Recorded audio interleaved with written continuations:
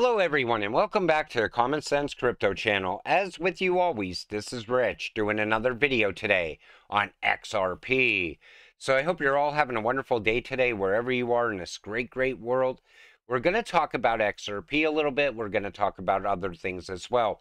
I had all this stuff together for one XRP video, but there was just so much I split it into two.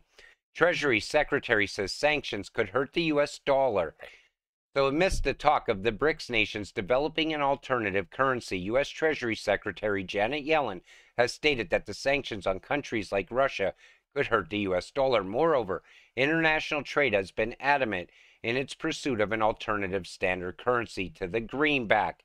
Now, if she's just waking up to this, we are in a lot of trouble in this country. I was talking about this all the way back in June of last year.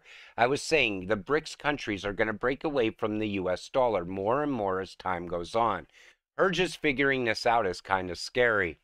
Warren Buffett says nobody will lose money on a deposit in a US bank. Now, I feel that Warren Buffett is trying to make people trust in the bank again people that don't know any better. Remember, he met with the White House to talk about the collapse of the banks. And I believe now he's on a campaign to earn people's trust back. Warren Buffett warns against buying cryptocurrencies with borrowed money as this could be detrimental to one's financial future. At the same time, he wants to keep new investors away from crypto. He wants to get the weak hands out of crypto as well and get that money back in the banks. That's what this is all about. XRP lawyer recalls Gary Gensler video on crypto panic among banks. So, attorney John Deaton, who represents over 76,000 XRP token holders in the ongoing Ripple uh, lawsuit against the SEC, has long been arguing that the big Wall Street banks want to get hold of some share in the crypto market. And this is why the likes of the SEC are dragging the regulation part. In a latest, he shared a video from 2018 wherein U.S. investor Tim Draper is seen saying to Chair Gary Gensler that the banks were in panic about the rise of cryptocurrency market. You can hear the bankers panicking right now and unite to say we are not letting this happen. The panic, in the words of Draper, is about crypto's disruptive potential and that incumbents would sue, expert media pressure, and leverage government regulators to slow its progress. Deaton opined that it's all about protecting incumbents, the banks. That's why the case is still going on against Ripple. The SEC is trying to delay everything as long as they possibly can.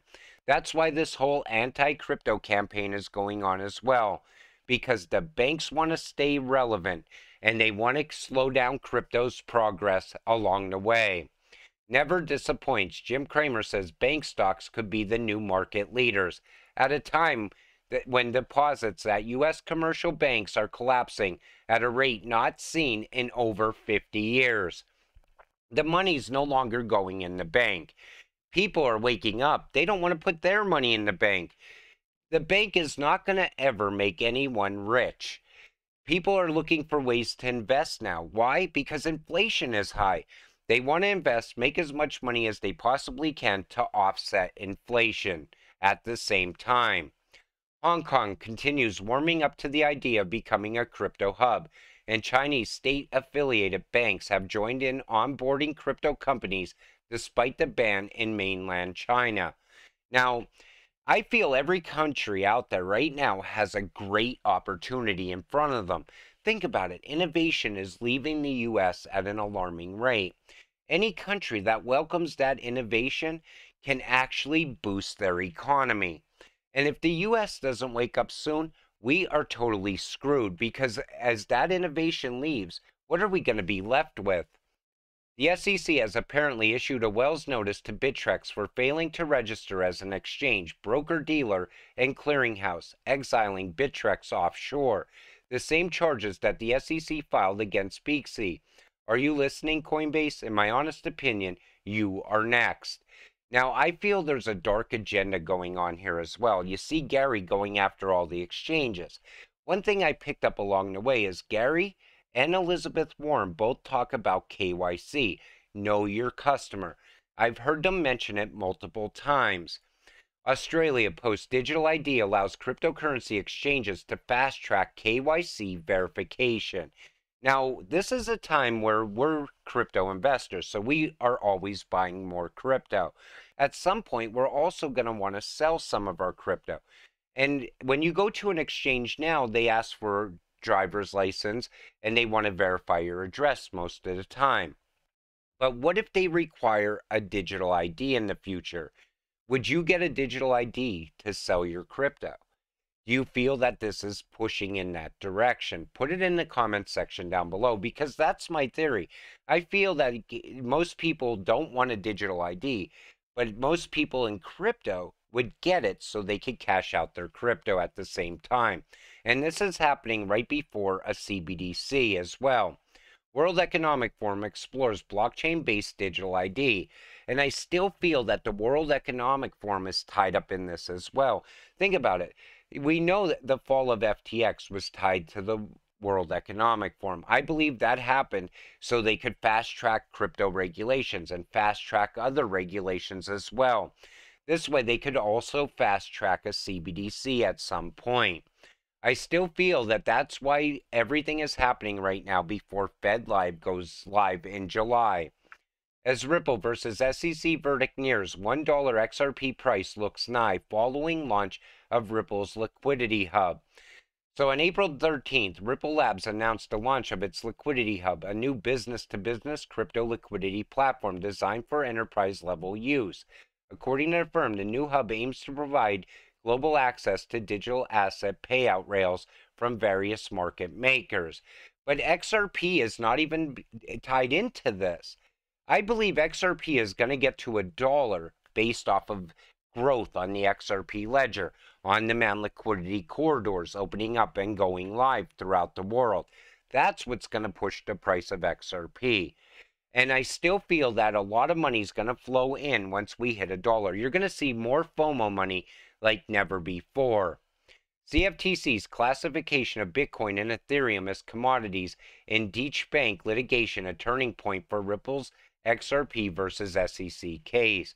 You know, there's always more and more information coming out around that case that strengthens the case for Ripple. I still feel the case is a sham. As I just mentioned before, you know, Gary's purpose is one thing delay crypto. Hold it back any way you possibly can. At some point, though, this judge is going to come out and give a ruling. I still feel she's going to rule in favor of Ripple and wrap this case right up. Retail investors fire Gary Gensler as SEC chairman for obstruction of justice. And there's another petition going around as well. It already has 31,751 signatures. All of you should go out and sign this no matter what. And tomorrow is a very big day.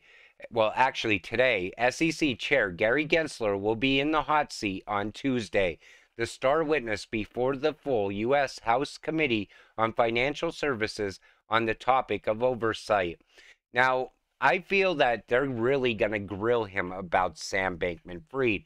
They might grill him around the George Soros incidents uh, also you know, things that were going on behind closed doors, the secret phone calls.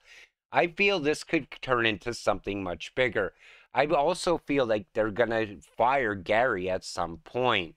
But again, it looks very good. Things that are said in, in at this meeting can actually push the price of XRP as well. We'll have to wait and see what happens. But I'm going to wrap up this video. I want to thank you all for watching. I appreciate all of you watching my videos. We'll see you in the next one. Have a great night.